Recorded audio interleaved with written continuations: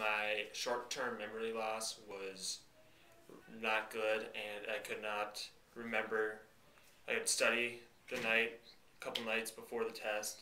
And I got to the test and I could not remember anything, and I had a D average going, and was not cutting it in high school. I needed to bump it up so I could could get into a good college.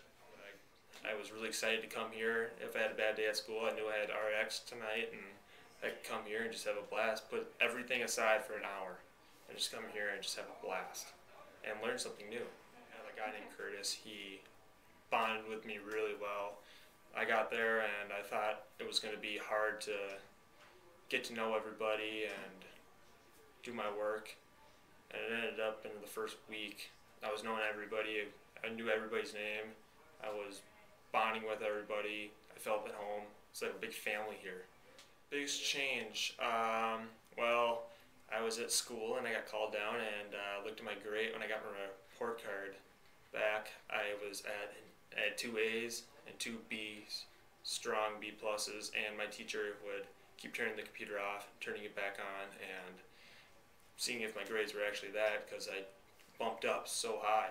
First grade, I uh, took, or test I took, I had, um, I wasn't doing really well in the class, and I got my grade back, and it was an A plus. I couldn't imagine it. I kept wiping my eyes off and looking back at the paper, and my teachers were just really amazed.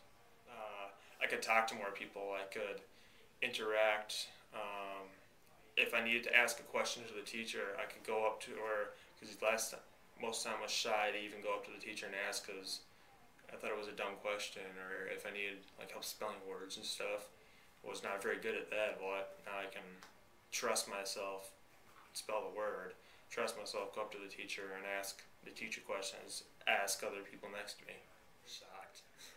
They're shocked. They, they they look at my grades now and they're they're they're not nagging me about when I get home to say Andrew do your homework because they know when when when I get home I'm gonna pull my homework out I'm gonna do it and they don't have to keep nagging me and say do your homework Andrew get the stuff done hand your stuff in on time it's always being handed in on time. I'm always doing my work when I get home. Really is all in all, it's it's great and I'm glad I came here because if I didn't come here I'd still be at a D average and that would not be good.